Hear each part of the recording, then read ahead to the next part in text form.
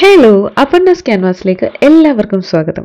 ഇന്നത്തെ വീഡിയോ എന്ന് പറയുന്നത് നമ്മുടെ കഴിഞ്ഞ ക്രിസ്മസിന് നമ്മൾ സെറ്റ് ചെയ്ത മട്ടൻ ബിരിയാണി അതും സക്സസ്ഫുള്ളി സെറ്റ് ചെയ്തിരുന്ന മട്ടൻ ബിരിയാണിയുടെ ഒരു കഥയാണ് ഇന്ന് പറയാൻ പോകുന്നത്. കഥ എന്ന് പറയുമ്പോൾ the recipe of mutton biryani.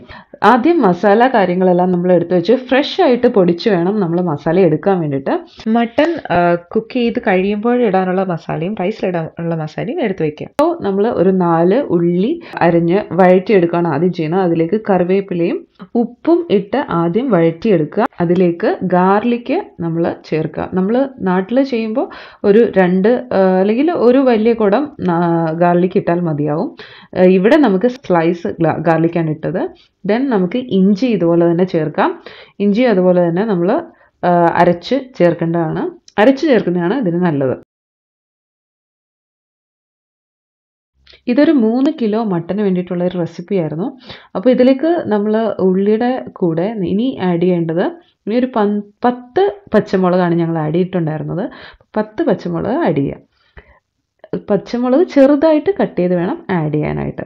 അതിനുശേഷം നമുക്കിനി ആഡ് ചെയ്യാനുള്ളത് തക്കാളിയാണ്. രണ്ട് വലിയ തക്കാളിയാണ് നമ്മൾ ആഡ് ചെയ്തിട്ടുണ്ടായിരുന്നത്. ഇനി ഇത് നല്ലതുപോലെ വഴറ്റിയെടുക്കുക. ഉള്ളിയും തക്കാളിയും പച്ചമുളക് എല്ലാം കൂടി കിടന്ന് ഒന്ന് ഒരുമിച്ച് വഴറ്റിയെടുക്കുക ഈ ഒരു മട്ടൻ ബിരിയാണിയുടെ സ്പെഷ്യാലിറ്റി എന്ന് പറയുന്നത് നമ്മൾ ഇപ്പോഴൊന്നും ഇതിന്റെ മസാല ഇതിന്റെ കൂടെ ചേർക്കുന്നില്ല എന്നുള്ളതാണ്. കുക്ക് ചെയ്യുന്ന സമയത്ത് ഇതിന്റെ ചുറ്റിനുള്ള എല്ലാവരുടെ ഡൗട്ടായിരുന്നു എപ്പോഴാണ് മസാല ആഡ് ചെയ്യാന്നുള്ളത് അപ്പോൾ ഇത് ആഡ് ചെയ്യുന്നത് എല്ലാ കുക്കിങ്ങും എന്താ പറയുക മട്ടന്റെ എല്ലാ കുക്കിങ്ങിനും ശേഷമാണ് ഇത് ആഡ് ചെയ്യുന്നത്.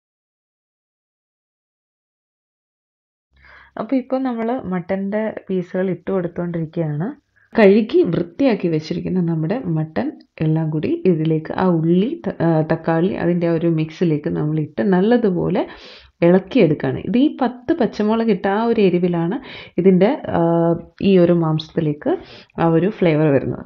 അപ്പോൾ ഇത് ഇങ്ങനെ നല്ലതുപോലെ ഒന്ന് ഇളക്കി ഒന്ന് യോജിപ്പിച്ചതിന് ശേഷം ഇനി നമ്മളിത് കുക്കറിനകത്ത് വെച്ച് വിസിൽ നാല് വിസിൽ ഞങ്ങൾ ചെയ്തിരുന്നു. അപ്പോൾ നാല് വിസിൽ ചെയ്ത് എടുക്കുകയാണ്.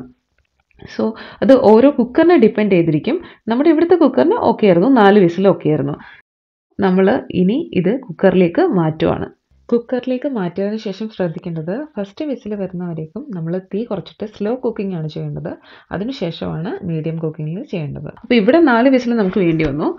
ദെൻ ഇനി നമുക്ക് എന്താ ചെയ്യേണ്ടതെന്ന് വെച്ചാൽ റൈസ് കുക്ക് ചെയ്യുന്ന പരിപാടിയാണ്. അപ്പോൾ റൈസ് നമ്മൾ വൺ അവർ മുന്നേ തന്നെ നമ്മളത് സോക്ക് ചെയ്ത് വെക്കുന്നത് നല്ലതാണ്. അപ്പോൾ അത് ഹാഫ് ആൻ അവർ എങ്കിലും വെക്കുന്നത് നല്ലതാണ്. അപ്പോൾ ഇനി ചോറ് വേവുന്നതിന്റെ സൈഡിൽ കൂടി ഇനി നമുക്ക് നെയ്യ് ഒഴിച്ചിട്ട് അതിൽ അണ്ടിപ്പരിപ്പും കിസ്മിസും ഒക്കെ നമുക്കൊന്ന് വറുത്ത് കോരേണ്ടതുണ്ട്. അപ്പോൾ നമ്മൾ അതൊന്ന് വറുത്ത് കോരുക.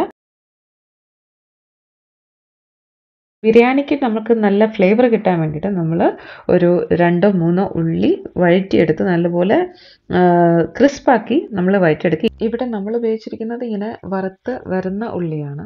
നല്ലതാണതും അതിലേക്ക് കുറച്ച് നമ്മൾ ബ്ലാക്ക് പെപ്പർ കുരുമുളകും കൂടി നമ്മൾ ഇടുന്നുണ്ട്. അപ്പോൾ ഇത്രയും കൂടെ ഇട്ടിട്ട് നമ്മൾ നല്ലപോലെ ഒന്ന് അതൊന്ന് മൂപ്പിച്ചെടുക്കുക. അത്രയും മതി. ഓൾറെഡി നല്ല കുക്കായി വന്ന സാധനമാണ്. ജസ്റ്റ് ഒന്ന് ചൂടാക്കി എടുക്കുക. അത് കഴിഞ്ഞ് ഇത്രയും റെഡിയാക്കി വെച്ചു. ഇനി നമ്മൾ ചെയ്യേണ്ടതെന്ന് പറയുന്നത് നമ്മുടെ കുക്കർ വിസിലടിച്ച് അത് തുറന്നു നോക്കുക എന്നുള്ളതാണ്. വിസിലടിച്ച് വെച്ചിരിക്കുകയാണ്. ഇനിയിപ്പോൾ അത് തുറന്നു നോക്കുക എന്നുള്ളതാണ്. മട്ടൻ ഇവിടെ വിസിലടിച്ച് റെഡി ആയിട്ടിരിപ്പുണ്ട്. നമ്മളിതിനി ഒരു ടു ടൈംസ് ആയിട്ടാണ് ചെയ്തത്. സോ ഇനി ഇതിന് വേണ്ടിയിട്ട് നമ്മൾ എന്താ ചെയ്യണമെന്ന് വെച്ചാൽ കുക്കറിൽ വെച്ച് തന്നെയാണ് നമ്മൾ ദം ഇടാൻ ദം ഇടാനായിട്ട് പോകുന്നത് സോ നമ്മൾ ഹാഫ് ആക്കി അതിലേക്ക് നമ്മൾ നേരത്തെ കണ്ട മസാലാസ്. മസാല എന്ന് പറയുമ്പോൾ പെരിഞ്ജീരകം ദെൻ കറുകപ്പെട്ട ഗ്രാമ്പു തക്കോലം ഇങ്ങനെ മസാല ആഡ് ചെയ്യുന്നതിന് മുൻപായിട്ട് നമ്മൾ പുതിനയിലയും മല്ലിയിലയും ആഡ് ചെയ്യേണ്ടതായിട്ടുണ്ട്. പക്ഷേ ഇവിടെ നമ്മൾക്കത് പൊടിയായിട്ട് ഉള്ളതുകൊണ്ട് നമ്മൾ ഇലയായിട്ട് ഇട്ടില്ല. സോ ഇങ്ങനെ ഇട്ടാലും അത് സൂപ്പർ ആയിരുന്നു എന്നുള്ളതാണ് ഞങ്ങളുടെ സക്സസ്ഫുൾ റെസിപ്പി തെളിയിച്ചത്. സോ അത് കുഴപ്പമില്ലായിരുന്നു. ദെൻ അവസാനം അതിലേക്ക് നാരങ്ങ ഹാഫായിട്ട് കട്ട് ചെയ്തത്. ഒരു ഹാഫ് നാരങ്ങ ഫുൾ അതിൽ പിഴിഞ്ഞൊഴിച്ചിട്ടുണ്ടായിരുന്നു. ദെൻ അതിന്റെ കൂടെ ഒരു ഒന്നര സ്പൂൺ കുരുമുളക് പൊടിയും കൂടെ നമ്മൾ ആഡ് ചെയ്തു. കാരണം ഒരു മട്ടൻ ബിരിയാണി ആകുമ്പോൾ കുറച്ച് എരിവായിക്കോട്ടെ എന്ന് കരുതിയിട്ട് കുരുമുളകിന്റെ ഒരു ഫ്ലേവർ നല്ലപോലെ ഇരിക്കട്ടെ എന്ന് വെച്ചിട്ട് അങ്ങനെ ആഡ് ചെയ്യും ഇതിന് ശേഷം നമ്മൾ കുറച്ച് അണ്ടിപ്പരിപ്പും കിസ്മിസും ഒക്കെ നമ്മൾ ആഡ് ചെയ്തു. രണ്ട് പാർട്ടായിട്ടായിരുന്നു നമ്മൾ ചെയ്തത്. കാരണം വലിയ കുക്കർ വേണ്ടി വരും അല്ലെങ്കിൽ ദം ഇടാനായിട്ട്.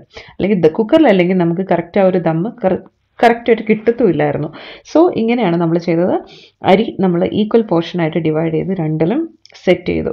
നമ്മൾ അഞ്ച് കിലോയുടെ കുക്കറാണിത് അഞ്ച് ലിറ്ററിന്റെ കുക്കറാണിത് അപ്പോൾ അതിലേക്ക് ദെൻ ആഡ് ചെയ്യുന്നത് നമ്മൾ നേരത്തെ കണ്ട അതേ മസാലാസ്.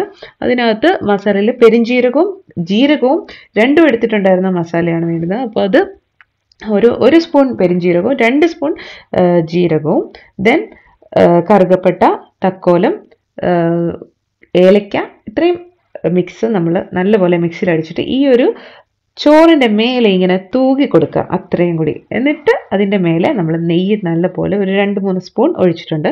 ദെൻ ഉപ്പും കുറച്ചധികം നമ്മളൊന്ന് ഉപ്പ് ചെറുതായിട്ടൊന്ന് ഇട്ടതേ ഉള്ളൂ ഈ ഒരു ഫ്ലേവർ കിട്ടാൻ. ഇതിന് മുൻപ് നമ്മൾ ആ ഒരു ഉപ്പ് ടെസ്റ്റ് ചെയ്യേണ്ടതുകൊണ്ട് എപ്പോഴാണെന്ന് വെച്ചാൽ കുക്കർ തുറന്ന് നോക്കിയിട്ട് നമ്മൾ ആ ഒരു മട്ടന്റെ ആ ടൈമിൽ നമ്മളത് ഉപ്പ് ടെസ്റ്റ് ചെയ്യേണ്ടതാണ്. ഇതിനുശേഷം ഏറ്റവും അവസാനം നമ്മൾ അണ്ടിപ്പരിപ്പും കിസ്മിസും എല്ലാം കൂടെ മേളിലിടുന്നു. ഇനിയാണ് ഇത് ശ്രദ്ധിക്കേണ്ട പരിപാടി. കുക്കറിലേക്ക് ദമ്മിടുന്ന എങ്ങനെയാണെന്ന് വെച്ചാൽ ജസ്റ്റ് വെക്കുക ദെൻ നല്ല പോലെ ഹീറ്റ് കൊടുത്തിട്ട് ഒരു വൺ മിനിറ്റ് ഇതിന്റെ മേലെ നല്ല പോലെ ആവി നല്ല പോലെ വരുന്ന ആ ഒരു രീതിയിൽ വരുന്ന കാണുമ്പോഴാണ് നമ്മൾ വിസിൽ വെക്കേണ്ടത്. വിസിൽ വെച്ചതിന് ശേഷം വിസിൽ നല്ല ഹീറ്റാണ് അത് നിൽക്കുന്ന രീതിയിൽ വിസിൽ അടിക്കരുത് അത് അതിന് മുന്നേ ഓഫ് ചെയ്തേക്കണം. അതാണ് അതിന്റെ ഒരു ദമ്മിന്റെ ഒരു രീതി എന്ന് പറയുന്നത്. അപ്പോൾ അത്രയും കഴിഞ്ഞാൽ പിന്നെ ഓൾ സെറ്റാണ് ദെൻ അത് കൂളായതിനു ശേഷം നമ്മൾ തുറന്നു നോക്കുക. റൈസ് ഇപ്പോൾ കറക്റ്റായിട്ട് വെന്ത് റെഡി ആയിട്ടുണ്ട് ദമ്മിലിരുന്ന്. ഞങ്ങളിത് രണ്ടായിട്ട് ദമ്മിട്ടത് കാരണം ഞങ്ങൾ പിന്നീട് ഒരു വലിയ പാത്രത്തിലേക്ക് ഇത് എല്ലാം കൂടി യോജിപ്പിക്കാൻ വേണ്ടിയിട്ട് വലിയ പാത്രത്തിലേക്ക് നമ്മൾ എടുക്കുകയാണ് ദെൻ അതൊന്ന് നല്ലപോലെ ഒരുപാട് മിക്സ് ചെയ്തെടുക്കരുത്. ജസ്റ്റ് ഒന്ന് ചോറ് ഒന്ന് ലൈറ്റായിട്ടൊന്ന് ഇളക്കി വിട്ടതേ ഉള്ളൂ. ദെൻ അതിന് ബാക്കി ഉണ്ടായിരുന്ന നമ്മൾ നോർമലി ബിരിയാണിക്കൊക്കെ ഇടുന്ന നമ്മുടെ ഉള്ളി അതുപോലെ തന്നെ അണ്ടിപ്പരിപ്പും കിസ്മിസും ഇത്രയും മിക്സ് ചെയ്തിട്ടു ഇത്രയും ഒഴിച്ചിട്ട് ജസ്റ്റ് ഒന്ന് ഇളക്കാവേ പാടുള്ളൂ. അല്ലാതെ ഒരുപാട് അങ്ങ് മിക്സ് ചെയ്തെടുക്കരുത്. ജസ്റ്റ് ഇളക്കിയെടുക്കാം ഇത്രേ ആവശ്യമുള്ളൂ. ഭയങ്കര സൂപ്പർബായിട്ടുള്ളൊരു ബിരിയാണി ആയിരുന്നു ഞങ്ങൾ ഒരിക്കലും പ്രതീക്ഷയിൽ ഇത്രയും സക്സസ്ഫുൾ ആയിട്ട് കിട്ടുക കാരണം ഞങ്ങൾ ആരും മട്ടൻ ബിരിയാണി ഉണ്ടാക്കി അത്ര ശീലമുള്ളവരല്ല. പക്ഷേ നല്ലപോലെ കഴിച്ച ശീലമുണ്ട്. അപ്പോൾ ഇതിന്റെ ഒരു ഫ്ലേവറും ടേസ്റ്റും ഒക്കെ എന്ന് പറയുന്നത് ഒരു രക്ഷയില്ലായിരുന്നു. അത്രയും ഞങ്ങൾക്ക് ഭയങ്കര ഇഷ്ടപ്പെട്ടു. ക്രിസ്മസിന്റെ ഈ ആഘോഷങ്ങൾക്കിടയിൽ ഈ ഒരു ഫുഡിങ്ങും കൂടെ ആയപ്പോൾ പെർഫെക്റ്റ് അപ്പോൾ എല്ലാവരും ഇത് ട്രൈ ചെയ്ത് നോക്കുക ഈ നല്ല റെസ്റ്റോറന്റിലെ ഫുഡ് നമ്മൾ സജസ്റ്റ് ചെയ്യുന്ന പോലെ നല്ലൊരു റെസിപ്പി ഞാൻ സജസ്റ്റ് ചെയ്യാണ്. അപ്പോൾ thank you for watching subscribe